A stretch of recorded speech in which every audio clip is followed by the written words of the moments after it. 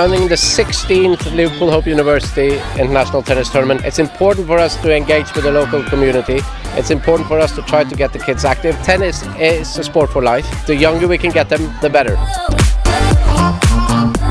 We've sponsored the tennis, but we didn't want to just sponsor. We wanted to make sure we gave something back to the community. We heard there were shorter rackets, so it was a no-brainer really to, to give back and make sure that the kids had plenty of rackets to play with.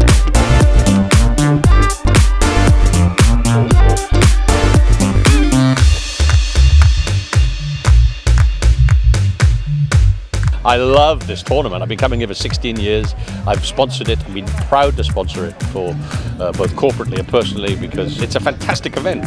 It's a great platform for me to promote myself as a business and obviously the tennis which everyone comes to enjoy, particularly in the sunshine.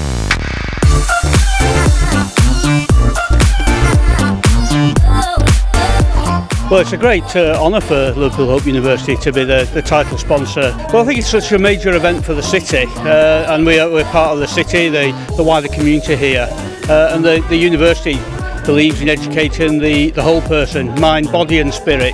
The event's been great. The, the, the tennis event for Liverpool, we get hundreds of people coming and, and enjoying the days. The tennis is good. And that's the main thing. People come to watch the tennis. The Liverpool public get behind any sporting event. There's um, young people, there's the business community, there are those people who've supported all, all manner of, of tennis activities. So it's a whole wide range, it appeals to a wide range of the community, which is fantastic.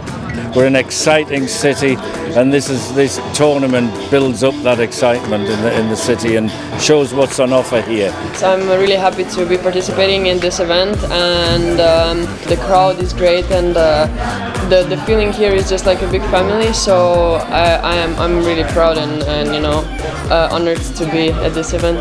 It's brilliant, it's really well organised, really well done. Um, everything's looked after as a player. I've been looking forward to this event for a while. Great to be in the, the city I love.